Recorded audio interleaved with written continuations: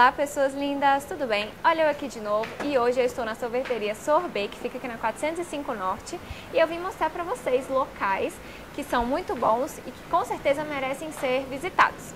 Então, eu vou conversar com a dona do local e alguns clientes e saber o que, que eles têm para falar sobre o local. Estou aqui com a Rita, que é a dona da Sorbet, e ela vai falar um pouco sobre como ela criou né, essa empresa e qual é o diferencial. Então, Rita, como você teve a ideia de criar a Sorbet aqui na 405 Norte?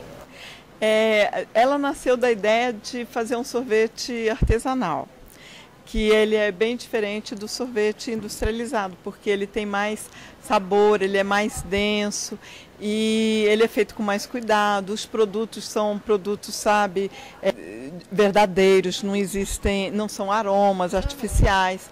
Então é, é uma história assim bacana, porque o sorvete é um, uma delícia que todas as pessoas gostam. Se não gosta, pelo menos assim, já ousou provar. É. E também é, é porque eu gosto muito de sorvete. Você abriu a empresa aqui quando? Em 2005. Então já tem bastante tempo, né? Já. E como você vê a clientela, a aceitação do, dos clientes a respeito desse, desse sorvete?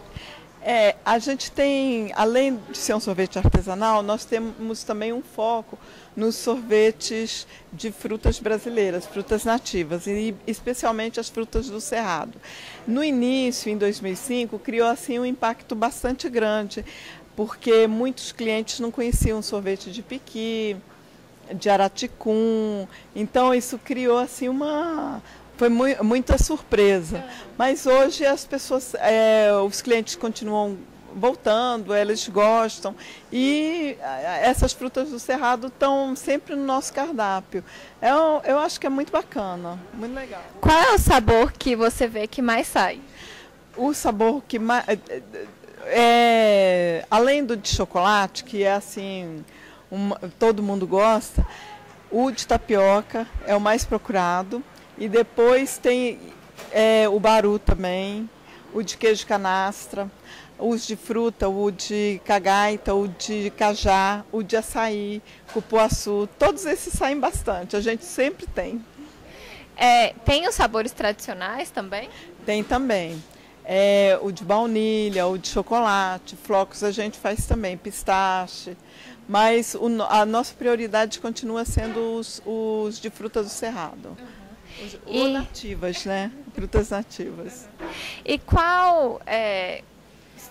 Porque não é só a bola de sorvete, né? Também você tem milkshake, essas coisas. É, a gente ainda. Nós temos também uma sorveteria com cara de sorveteria bem tradicional. Então a gente faz os sorvetes e oferece as taças, que são essas taças que muita gente já conhece, que é, é a banana split a taça, o sundae e a bola de sorvete, que você tem a opção de uma bola ou duas bolas e na, na é, no copinho ou então no cascão. É, então façam propaganda para o pessoal vir aqui, né? Então, Conhecer é, a sorveteria. Então, a sorveteria fica na. A sorbet fica na Asa Norte, na 405 Norte, que é uma quadra muito bacana. É ótima essa quadra porque ela tem uma diversidade muito grande e as lojas são muito bacanas. É muito legal aqui. Fica aqui no bloco C, gente, então se você estiver interessado, é só vir aqui. No Sorbet. Meu nome é André Barbosa Filho, eu trabalho aqui em Brasília. Então o Sorbet é um ponto que a gente vem no fim de semana para se deliciar mesmo. É gostoso, tem uma pracinha aqui, verdinho. E o sorvete artesanal, sorvete sem gordura, com menos gordura. Então é muito gostoso. Para nós é um prazer vir com a família aqui, se divertir aos sábados e domingos. Venha você também. Olá, meu nome é Leandro. É, a gente mora aqui perto, né, no 205, desde 2012. É, tem uns 3, 4 anos. E a gente vem aqui na sorveteria desde que a gente se mudou para cá, para um ambiente bastante familiar.